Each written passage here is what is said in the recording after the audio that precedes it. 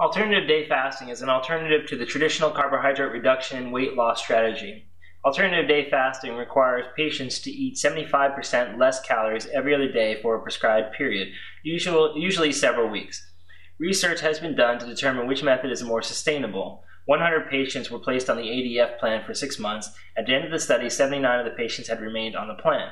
110 patients were given a CR plan to follow for six months, and 81 patients remained on the plan after six months using a 5% significance level, test the claim that the proportion of people that can remain on the ADF plan is the same as the proportion of those that can remain on the CR plan for six months.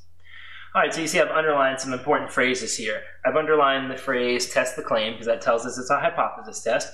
I've underlined the phrase proportion here to tell us that it's a hypothesis test about the proportion. And I've underlined the word same here because it's saying that the two groups have the same proportion basically. So let's start out by coming up with our claim for the hypothesis test, which is always our first step in a hypothesis test. Okay, so I'll have the claim that the proportion for the ADF group is equal to the proportion rho for the CR group, right? Now, HO and HA. The alternative hypothesis and the null hypothesis are determined by looking at the symbol involved in the claim. If that's an equal sign there in the claim, it means it's the same as HO because HO is the claim that ha- or the hypothesis that has equality. All right, and then we have the alternative hypothesis, and for that one, we're going to use the not equal to symbol because we have to have the opposite of what HO has.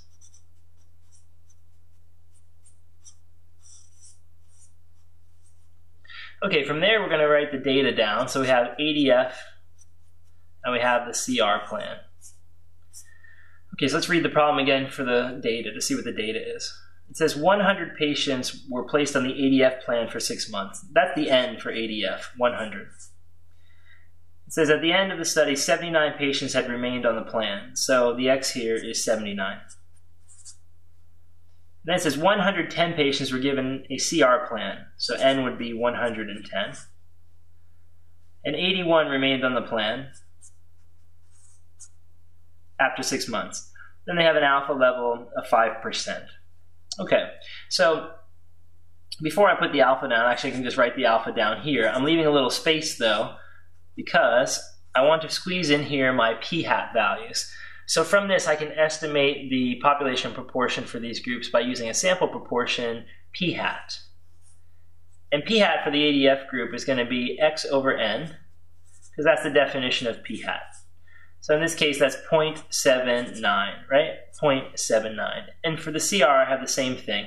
Its p hat value will be 81 over 110, right? And I'll get that in a second for us. Let me just label ADF and CR here at the bottom of these values. Now, 81 over 110 is not a nice round number, so let's work that out. It's 81 divided by 110. When you do it, you get a, a non-ending decimal here. It looks like it is uh, 0.736. 0.736.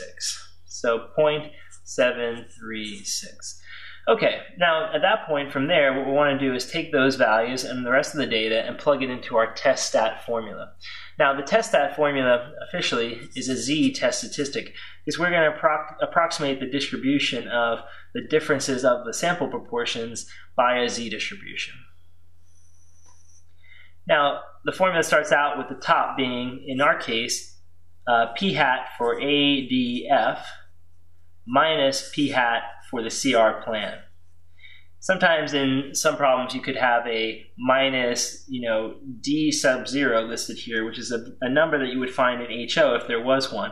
Um, we have no numbers in our HO, and typically in elementary stats you don't see that. So our formula is pretty basic. It's just this, the difference between the sample proportions, and then we have the square root of, and then we have something called rho hat, then Q hat times 1 over n1 plus 1 over n2. Now, these values here are special. This value, p hat, is actually a pooled estimator of the population proportion for this problem. We're assuming the population proportion for both is the same, right? We're assuming that the rho for ADF and the rho for the carbohydrate reduction diet are the same. So we're going to use a pooled estimator of that value called p hat. And so under the HO, remember we assume HO to be true when we run our hypothesis test, we're going to assume that this um, common proportion can be estimated by this pooled proportion p hat. So what that number looks like is this. The formula is actually quite simple. It's just the sum of the x's in the problem divided by the sum of the n's. So that's the formula. So we can work that out for the specific problem. It's going to be 79 plus 81, or 160 on top, over 100 plus 110, or 210 on the bottom, right? So that's 160 over 210. All right, so let's see what that turns out to be as a decimal. And what I'm going to do is I'm going to store it in my calculator so we have it for later use. Okay, now you can see in my calculator I have the calculation we did for p hat CR. I'm actually going to store that in my calculator. I'm going to store that as a variable. And the reason why I'm going to do that is because I want to have that for later.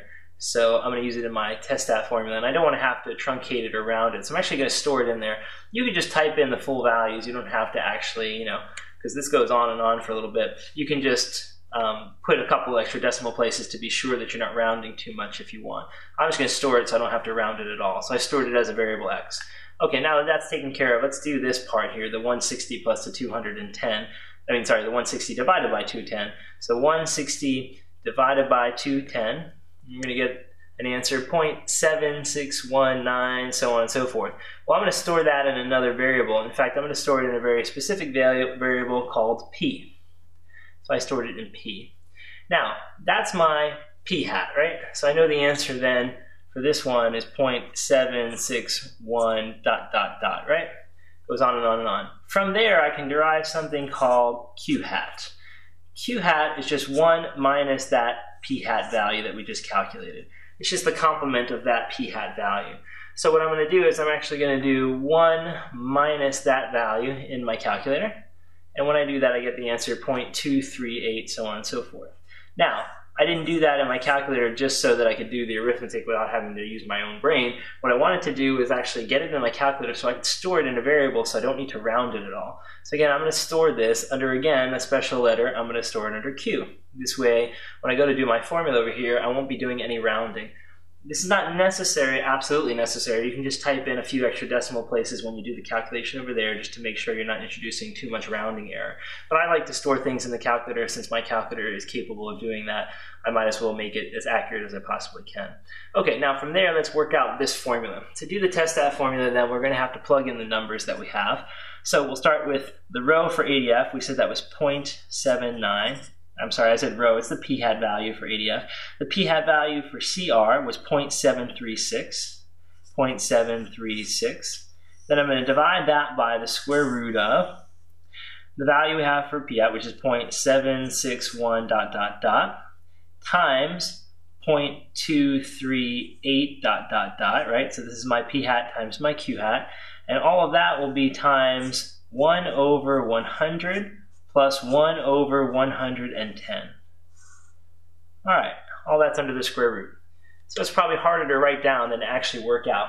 Now let's plug in our numbers. So we're going to take in the calculator the value 0.79, so in parentheses, I'll do this, sorry, 0.79 minus, remember I stored that other value because this value here actually goes on and on for a while, so I'm going to put my value there, which I'd stored in my calculator as x, then divide by the square root of and then I had P times Q, so I'm going to go ahead and do that in my calculator as P times Q. I stored them there in that format. And then I'll use a parenthesis, do 1 divided by 100 plus 1 divided by 110. Close up the parenthesis, hit enter, and I have my answer for the entire calculation. It works out to be 0.911 dot dot dot, right? So basically, we'll round it off to say it's approximately 0.91. That's good enough for us. All right, so that's our z value, that's our test statistic. It's not even one standard deviation above average, so at that point I'm thinking that we're probably not going to reject the null hypothesis, right? which means we're probably not going to reject the claim. But let's make sure by getting a critical value and comparing this value against that. Okay, so in order to get the critical value, we have to draw a bell curve, right? Standard procedure, draw a bell curve. And on the bell curve, we want to label the rejection region or draw the rejection region. So looking at the HA here, we can see it's a not equal to value or symbol in the middle, and that means we're going to have a two-tailed test. So we have two rejection regions, a rejection region on the left, a rejection region on the right.